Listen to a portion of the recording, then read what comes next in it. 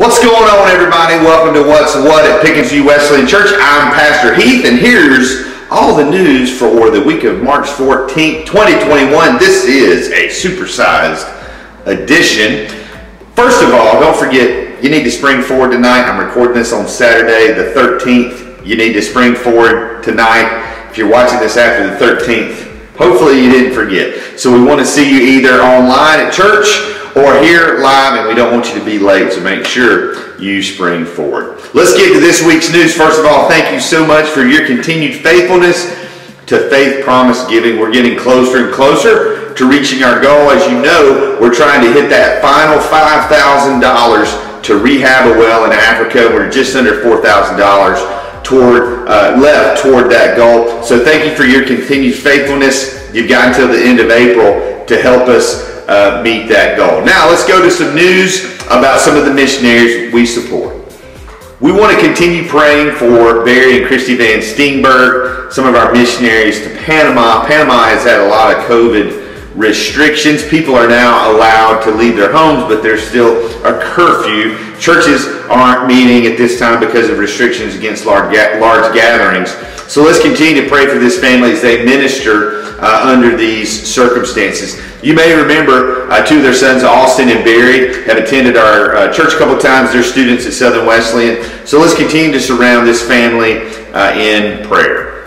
We also want to be praying for the Bagley family. Bob and Brenda Bagley are longtime missionaries to Africa. They're now living in Seneca and still working through global partners to build relationships and to build uh, the kingdom. Obviously, they haven't been able uh, to travel as much uh, during the pandemic, but we want to continue to pray for them as they provide leadership for some of our ministries all around the world. We also want to pray for their daughter, Mary Beth, who's been a missionary to missionary kids. She's been a teacher, she's built relationships with missionary kids all around the world, and now her focus is missionary kids who are in college.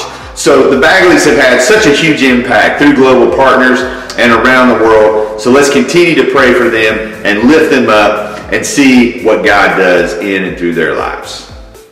Here's an update on some upcoming events here at Pickens View. We want to remind you about our Easter services, 9:15 and 10:30 on Easter Sunday. We're also going to be providing drive-through communion on Friday, April the 2nd. The time for that will be announced soon.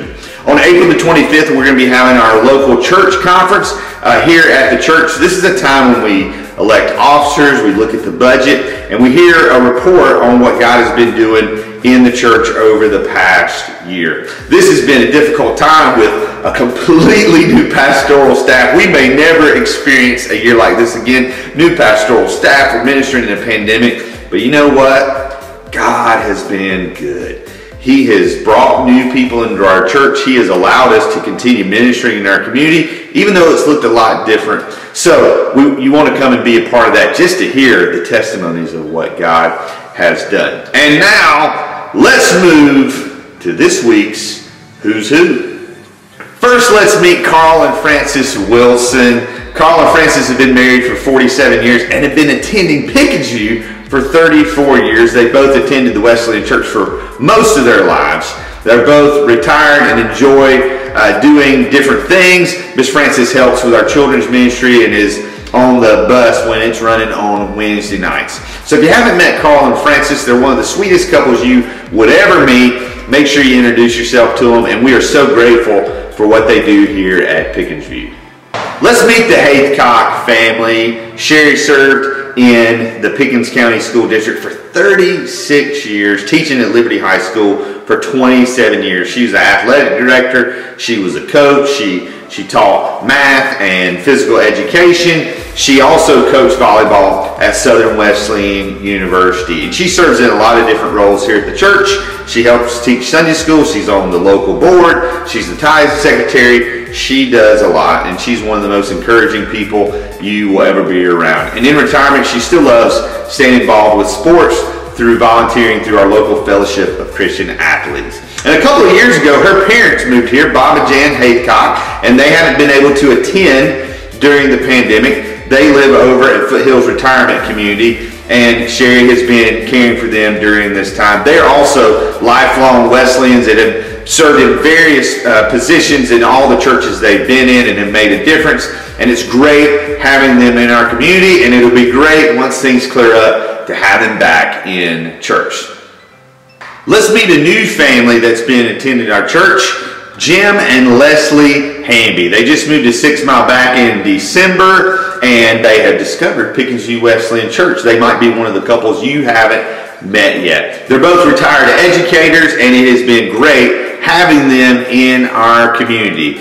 Uh, Leslie uh, attended Fellowship Wesleyan Church in Ida, so there is a long time connection with the Wesleyan Church. So make sure when you see them on a Sunday morning, uh, make sure you introduce yourself to Jim and Leslie and make them feel welcome to our community and to Pickens View Wesleyan. While the Hambys may be a new couple in our church, let's meet the Waldrops. They have been attending Pickens View Wesleyan for over 60 years. They have literally seen it all. And you may be like, man, who, who's Bud and Margaret Waldrop? Well, they go by Nanny and Daddy Bud. So that's what everybody calls them here at Pickens View. They're both retired. They enjoy spending time with their grandchildren and their great grandchildren. They are one of the most influential couples here at Pickens View, and they've been able to start coming back to church as things have cleared up, and it's been great to have them back. But again, if you have not met Bud and Margaret, make sure you introduce yourself to them on a Sunday morning, and we are so blessed to have them as part of the Pickens View community. As we close out this week's edition of What's What, I want to give a viewer warning because we are about to have a cuteness overload. And you may not be able to handle it. You see, we've had five families in our church have babies during the pandemic. Some of them you've met, some of them we've been able to dedicate, and some of them you haven't met yet, but we want to introduce you to them right now. First off, we've got Olivia, or as we call her, Livy Dongel. She's the daughter of Brent and Natasha Dongel. Uh, Natasha's our worship leader, and Livy loves seeing her mom up on the platform and usually gives a little shout uh, when she sees her mom's up, mom up there. So if you haven't met Livy, make sure that you give her a fist bump on a Sunday morning.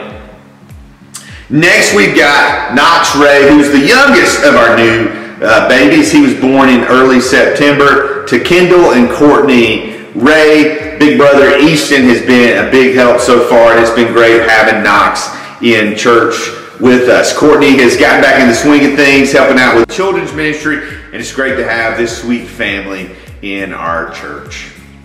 We want to introduce you now to Brooks Murray. Brooks is the son of Matt and Becca Murray, and they've been back to church here a couple times in the last couple weeks. Again, for a lot of our families, it's hard sometimes making that decision of, of when to take the baby out, especially during a pandemic. But we're grateful to have these young ones here. You need to make sure you welcome Brooks and say hello to Matt and Becca.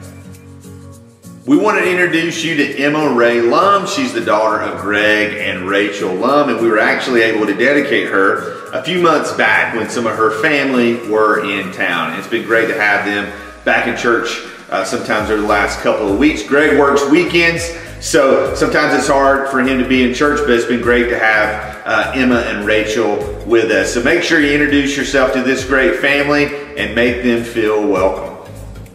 And finally, Xander Love is the daughter of Stephen and Liz Loves. Like a lot of families, the Loves have been hunkered down during this pandemic. We totally understand. They've been watching online. And so we're uh, excited for things to start to clear up and to meet this precious, precious child. It's such an amazing thing. Uh, you know, I love having babies in church. It means that your church is growing in more ways than one. And you know what's exciting? Uh, Whitney Crago, she's getting ready to have a baby soon. So the fun is just getting started. And I can't wait until things open back up and we're able to see all these kids playing together. And just think, man, they, we've got a built-in youth crew uh, right here. So we are, we've had some exciting times, we've had some trying times, but the future is bright. And so I just pray that during this season, as we get ready for Easter, that God, just as we start seeing uh, see things start to grow and start to flourish and start to bloom, that God would begin this new work in our lives, that He would start bringing us back to life after really a year we would all like to forget. So God bless you. Thanks for watching this week, and we'll see you soon.